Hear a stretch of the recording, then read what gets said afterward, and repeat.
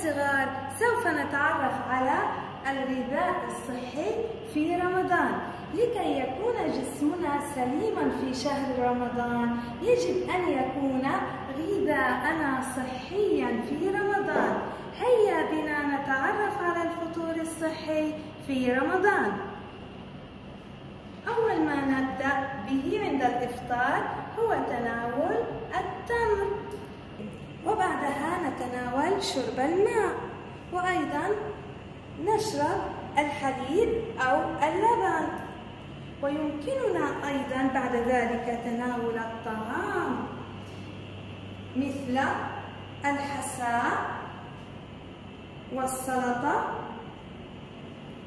والأرز والدجاج أو أي شيء آخر من اللحوم.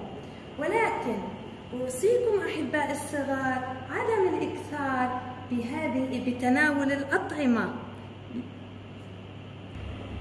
لكي يصبح جسمنا صحيا وسليما. مع السلامة.